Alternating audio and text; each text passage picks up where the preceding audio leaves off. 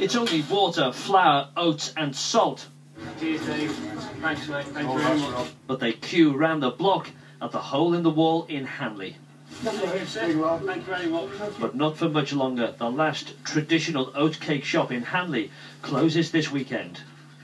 Yes, we're closing Sunday. Our last day is Sunday, um, due to compulsory purchase by the council. Right. Um, we've uh, had the property obviously taken off us uh, to redevelop the area.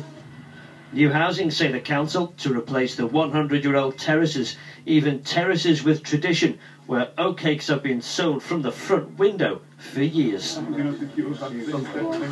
The face of Hanley is changing. Terraced houses used to be there, they've gone. Used to be some on the corner there, they've gone. Virtually all the industry has gone. And now, in the name of regeneration, the hole in the wall has got to go too. But many believe that with it will go part of Hanley's heritage. This was the back kitchen. This was the kitchen when we came. Uh, the cooker was in here, the washer was in here. There used to be an old rack on the ceiling. It used to pull up and down with your clothes on, you know. I suppose there were no cakes on there, I don't know. Yeah. Um, so is this, the, is this the last one of its kind in Stoke? the last one that you go through the window with, yes, yeah.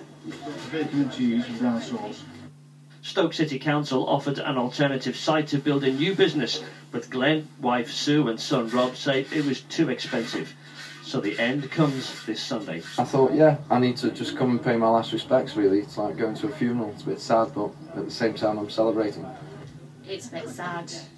Yeah, there's not many decent oat cake shops left around here. That's why I've come all the way from Cheadle to Hanley just to get one. Get it down, you. In a town which has already lost a lot of its heritage, this Sunday will be another sad day. Thank you very much. See you. Mark Goff in Hanley for Central Tonight. It is a real shame.